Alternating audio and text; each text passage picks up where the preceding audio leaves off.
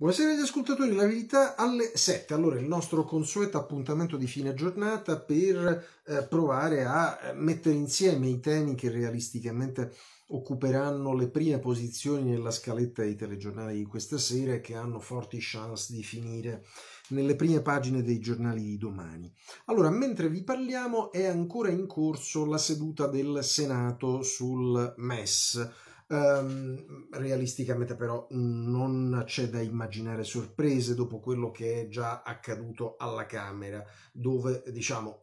a Montecitorio nella prima parte della giornata si è assistito allo stesso film, alla fine Conte dopo il suo discorsetto ha avuto un via libera da parte della sua maggioranza. E le cose però vanno un po' raccontate perché vedrete che poi i giornali domani, ritroscena, la verità stessa,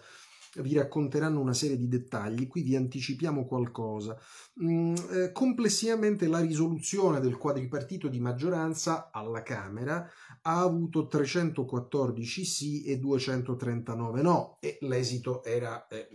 purtroppo comunque scontato. Attenzione però perché poi nella votazione specifica sulla finalizzazione dell'accordo del MES, quindi diciamo su quello specifico punto su cui le forze di opposizione hanno insistito per vedere chi è che si assumeva esplicitamente in modo diretto la responsabilità di dire sì ad un'operazione tanto rischiosa per il Paese, la maggioranza ha perso per strada 17 voti e alla fine si è attestata su questo specifico punto su 297 sì, 17 in meno rispetto a quelli complessivamente raccattati sul resto della risoluzione e 256 contrari. Uh, naturalmente eh, vedrete che domani retroscena saranno puntati su un paio di realtà rispetto allo specifico del voto del MES. Per un verso i grillini che sono mancati all'appello sono stati soltanto 8 alla Camera più 3 ex grillini, mentre occhio a Forza Italia dove, questo si sapeva, c'è una differenza tra il gruppo del Senato che è più allineato al resto del centrodestra e invece il gruppo della Camera dove c'era una componente diciamo più eurolirica, eh, più pronunciata, mm, che si è materializzata con Brunetta e Polverini che sono usciti dall'aula, ma pure altri 14 esponenti forse per una ragione o per l'altra attraverso i tabacchi, questo dice l'analisi, non hanno partecipato al voto.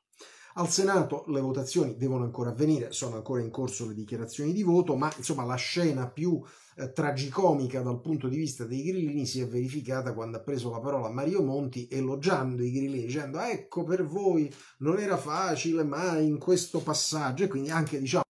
l'elogio di Monti sul MES ai grillini che piegano la testa è qualcosa eh,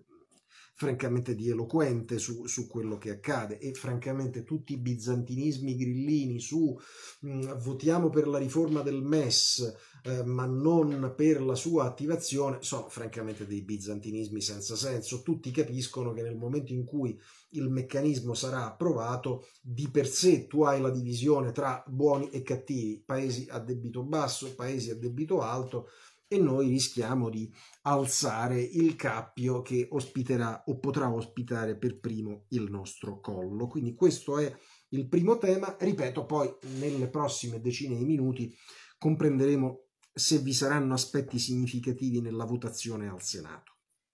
Per ciò che riguarda il Recovery Fund ci sono diciamo due elementi da considerare.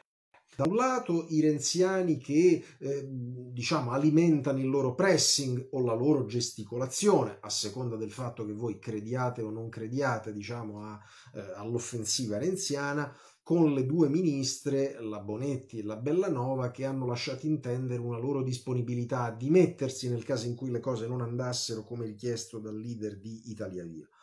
Sta di fatto però che Conte ha rinviato anche oggi il Consiglio dei Ministri che avrebbe dovuto comunque sciogliere la questione della governance del recovery plan. In fondo il Consiglio dei Ministri che è stato sospeso l'altra sera dopo quattro ore di nulla di fatto al momento dell'annuncio, erano circa le 17 dell'altra sera, della del ministro Lamorgese, non è stato più ripreso. Sembrava dovesse riprendere ieri alle 10, non è ripreso, poi ieri alle 16 non è ripreso, poi si pensava a questo pomeriggio, a questa sera e la cosa salta ancora. da parte dei contiani si dice ma eh, a questo punto meglio far decantare la situazione eccetera e poi comunque come potrei presentarmi in Europa eh, con un consiglio dei ministri spaccato? Eh, però si può anche far osservare eh, ma come ti puoi presentare in Europa se non sei neanche stato in grado di convocare o concludere la convocazione di un consiglio dei ministri la cosa più realistica è che Conte cercherà comunque di fare un passo laterale togliendo la norma sulla governance da un emendamento alla legge di bilancio e trasfondendola in un decreto legge a sé stante che quindi avrà i suoi 60 giorni di tempo per la conversione, la discussione parlamentare, ma questo non eluderà il passaggio comunque di un rimpasto un minuto dopo la legge di bilancio, quindi dopo Natale o dopo Capodanno. Lì eh, si parrà la nobilità, diciamo così, di Renzi, cioè se andrà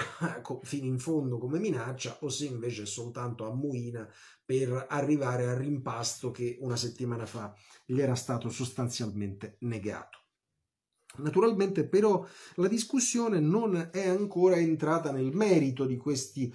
primi eh, abbozzi di discussione su cosa dovrebbe fare l'Italia. Questa storia dei soli 9 miliardi per la sanità da parte degli stessi che per anni, per mesi almeno, ci hanno fatto una testa così sulla necessità dei 37 miliardi del MES, fa capire diciamo che eh, eh, allora e, e, per molti mesi il dibattito pubblico è stato caratterizzato da un certo grado di insincerità. Eh, diciamo l'unica buona notizia di oggi viene dai dati sanitari. Nelle 24 ore passate ci sono stati 118.000 tamponi, i casi positivi posto che questo diciamo sia un dato particolarmente rilevante, non lo è, ma comunque è il dato che per primo viene dato, è di 12.756 positivi, i morti sono in calo 499, ma sono soprattutto in calo le terapie intensive per ormai è una settimana abbondante che c'è questo dato di calo che questa sera si materializza in un meno 25 e in questo momento le persone complessivamente in terapia intensiva sono 3320. Allora, di tutto questo parleremo domani mattina alla verità alle 7, sarà con me eh, Francesco Galietti come ogni giovedì. L'appuntamento però più importante della giornata è naturalmente quello in edicola per prendere la verità e per chi non l'avesse fatto oggi per prendere anche Panorama, perché da oggi è in edicola anche il settimanale. Noi ci ritroviamo, lo ripeto, domani mattina alle 7 con Francesco Galietti, domani sera alle 19 sarà con me il vice direttore Martino Cervo. Buona serata a tutti.